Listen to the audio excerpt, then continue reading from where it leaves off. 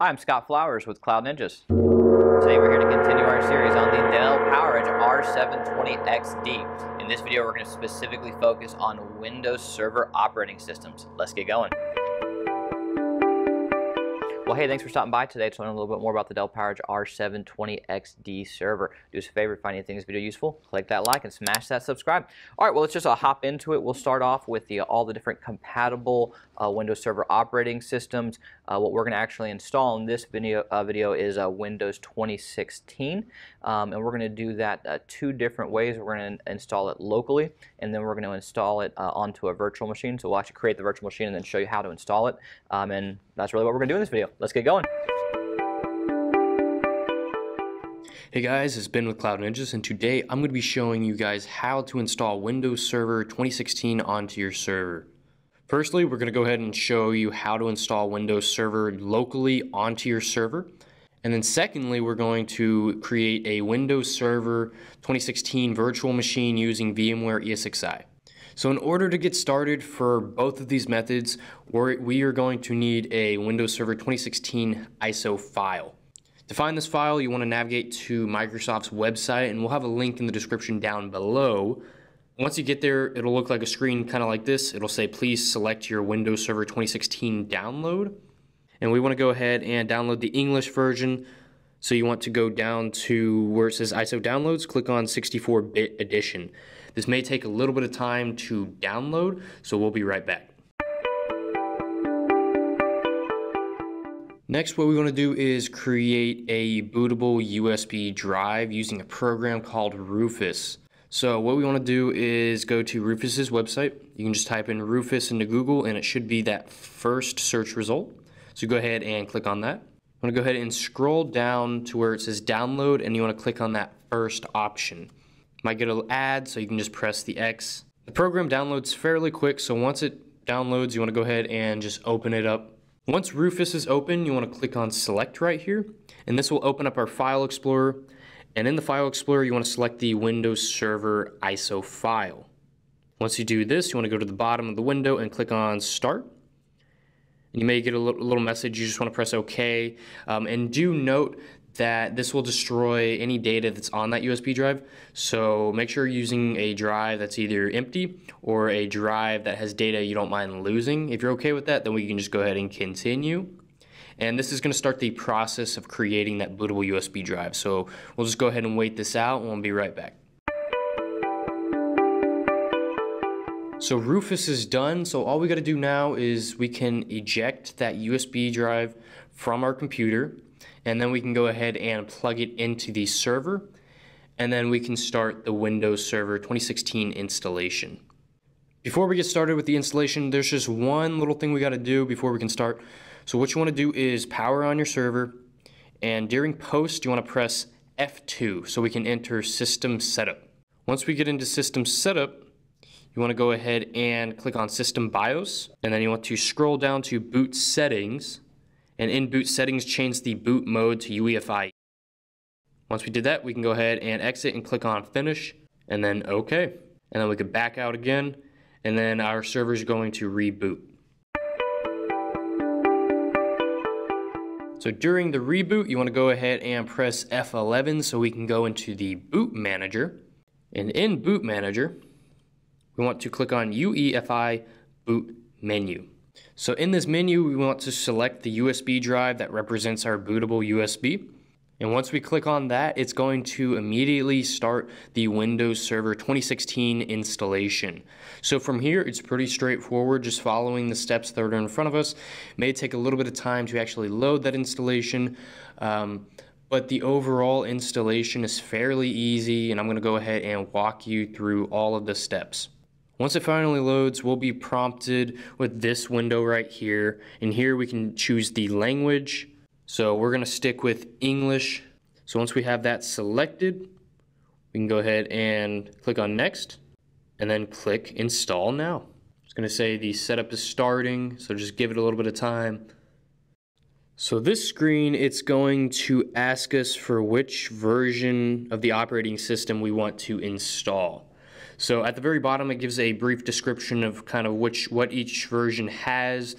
um, we're going to go ahead and choose the standard evaluation desktop experience. You don't have to do this one, but this one's great um, if you need a GUI. Um, so we're going to go ahead and select that one. Right here, we can accept the license terms. So we want to go ahead and click on that little checkbox. Once we've done that, we can go ahead and click on next. And here we'll be prompted to do either an upgrade or a custom installation. If you already have a version of Windows already on, installed onto your server, then you can go ahead and do the upgrade. Um, but for us, we want to do a fresh installation, so we want to do this custom install. This screen is going to be where we choose to install Windows. So we have one drive installed to our system, so we want to go ahead and select that drive. And this will basically be the installation destination. Once we do that, it's going to start copying the Windows files and start installing the files onto that drive. And from this point, we're, we're just going to wait. So we'll go ahead and fast forward here. So as you can see, it's finished. So our system is going to restart. So we'll just let it do that. Once our server reboots, it's going to boot back into Windows and it may take a little bit of time for it to get back up because it's still initializing everything and getting everything ready. But once it's finally done, you will be prompted to enter in a password. This is going to be the password of the main user account within the operating system. Um, it's going to be the, the password that we're going to use to log in in just a minute. So you want to make sure that this password is secure, but also something you can remember. So this can be whatever you want it to be. Looks like I accidentally didn't meet all the requirements. So you just want to make sure that you have uppercase, lowercase letters, and symbols, um, and you should be good to go. So we're going to go ahead and re-enter it back in. And once we do that, we are pretty much done with the Windows Server installation. It's going to finalize our settings. And once we do that, we will be at the Windows Server lock screen. So to unlock, we just want to do Control Alt Delete. Once it unlocks, it's going to prompt us to enter in our password. So we just want to put that password that we just created. And there we have it. We have successfully installed and logged into Windows Server 2016 on our server. This is how you do the local installation. It's fairly similar for pretty much any operating system you do. Uh, but this is how you locally install Windows Server 2016 onto your server. So now we're going to go ahead and show you how to create a Windows Server 2016 virtual machine in VMware ESXi. Alright, so let's go ahead and get started. First thing you want to do is just make sure that you boot your server up into uh, VMware so we can access the web interface. Once we do that, you want to go to a laptop or a desktop that's connected to the same network as that server. And then we're going to go ahead and type in the VMware IP address into a web browser, and that will bring us to this login screen here. We want to go ahead and log in. And if you don't have VMware ESXi installed onto your server, we have a video that we made previously in the series that you can go ahead and check out. So once we get logged in, we can go to the left-hand side of the screen and click on Storage, and then click on New Data Store. We'll bring up this menu right here. So first, we can just go ahead and get started by clicking on Next. Now we can give our data store a name. Once we typed in the name, we can click on Next, and then we can go ahead and click on Next again. Right here is just a little bit of a summary of our data store, so we can go ahead and just click on finish, and then we'll go ahead and click on yes. So we have cr successfully created our data store. As you can see, our data store is displayed right here, LabDS. What we want to do next is click on our data store and then click on data store browser, and then click on create directory. This is going to be the folder that we put our Windows Server ISO file in, so we're just going to call it ISOs. And once you create that, click on the file and then click on upload.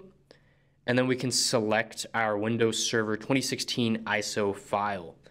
This is going to go ahead and upload our file. So it may take a little bit of time, so we'll just go ahead and fast forward. So once it finishes up, we can just go ahead and close this window. Then we can go to the left-hand side of the screen and click on Virtual Machines, Create slash Register VM, You can go ahead and click on next. And then now we can give our virtual machine a name. So this can be whatever you want it to be, but I do recommend it be somewhat descriptive so you know uh, which virtual machine it is. So we're doing lab WinServe 2016. Next, we want to select a guest OS family. So that's going to be Windows.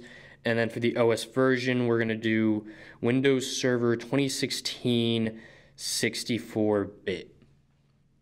Once we select that, click on Next. And then we can click on Next once again. And on this screen, we're not going to change anything, but then this is kind of where you can change. You can change how many CPU cores you want to allocate, how much memory or disk space you want to allocate towards this virtual machine. For Windows Server specifically, I would recommend allocating a little bit more resources towards it because it is a little bit more of a resource intensive operating system as compared to like Ubuntu Server, which is all command line based.